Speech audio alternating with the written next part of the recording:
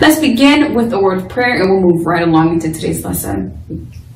We thank you, Lord, for this time we have to learn and grow. We seek to do the best we can and add to what we know. We love you, God, with all our hearts, and to others love we show. Pleasing you is our goal, not to our lesson we should go. In Jesus' name, amen. I believe in Jesus Christ, the Messiah who died and was resurrected from the dead to save humanity from sins. He is my Lord, Master, Boss, and Savior. I love God, I love myself, and I love others with the God kind of love. I believe the Bible is inspired by the Spirit of God and is the basis for morality, rights, and wrongs I look to the Spirit of God to understand God's intent behind every letter of the Bible. I abide by this intent and I live to honor God in thought, in word, and in deed. I believe there is a heaven to gain and a hell to shun. Father, please give me grace and mercy to please you more. This is my morality creed. In the name of Jesus, amen. Hi, Mrs. Zita here with HeroesMart Homeschool Academy. Welcome to class. It's good to have you here. In today's lesson, we're talking about graduated containers. We're going to talk about, um, look at some containers. And if you were a part of yesterday's lesson, you had a chance to look at some little buckets. We're going to be using that today. I still have these unit measurements on the board in case you need to uh, review that. Um, we will not be talking so much about that today, but there was one other um, additional measurement I wanted to put here on the board just so you know 10, uh, if you want to know how many centiliters, CLs, are in one liter, then you're just going to multiply these two. 10 liters, 10 times 10. That'll get you 10 times 10. It'll, it'll make the centiliters equivalent to the liters. 10 times 10, you know the answer to this if you uh, were paying attention to our multiplication uh, class many, many months ago. But 10 times 10 is it is 100. Therefore, there are 100 centiliters for every one liter. Okay. I want you to, to know that in case you find yourself measuring uh, centiliters in the future and you want to want a point of reference. Liters are always a good point of reference.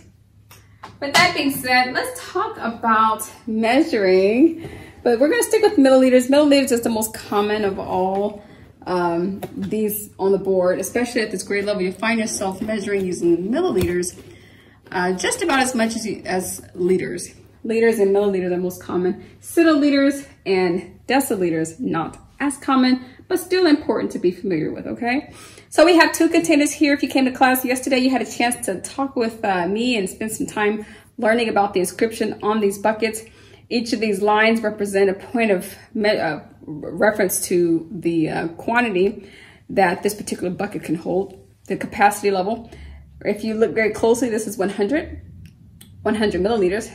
This is 200, 300, 400. Okay, so it stops at the 400 line. But what I want to show you is what we're measuring usually is going to be a, a fluid. And this, we've measured it to the 100 line. So this presently has 100 milliliters of water. Isn't that kind of cool? It gives you a chance to see about what 100 milliliters look like. That's all. That's, that's all 100 milliliters look like. If you wanted to compare, you could, what 100 milliliters look like to something like, let's say 50. So on this side, I'm going to pour about 50 milliliters, which is going to be half that amount. If you look very closely, you'll see this line here. That's for the 50, just half of the 100. We're going to pour until we get to the 50, right about there. And as you can see, with this big 100 and this side being 50, 100 is greater, that quantity is greater, so it's going to be heavier on this side. But if I continue to pour and try to get this water up to the 200 point, or so let's see if we can firstly make it equal. Okay, is that about equal to some degree? Maybe this one has slightly more. But if we get this, try to get this up to 200 milliliters. Ah, so now this bucket has twice as much water or fluid as this one. This one has 200 milliliters. This one is filled to 100 milliliters. I want you to see what those differences look like. So the one here is 100 milliliters. This was 200. And that's about what the quantities look like if you were to see them.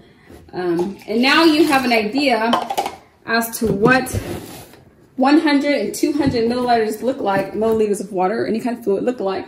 So that whenever you're pouring yourself a glass of water and you can look at it and say, oh, this is about 250 milliliters. Or you say, oh, this is about 500 milliliters. Or you may say, this is only about 25 milliliters. I just need to take a quick drink of water or something like that. Isn't that kind of cool? Okay, take time also if you have some of these little containers or maybe some buckets or maybe some other some other graduated container. Take time out and practice with them. It'll prepare you for classes like uh, science and higher level mathematics. Thank you so much for joining with me today. Remember, Jesus loves you, and so do we. Until next time, God bless.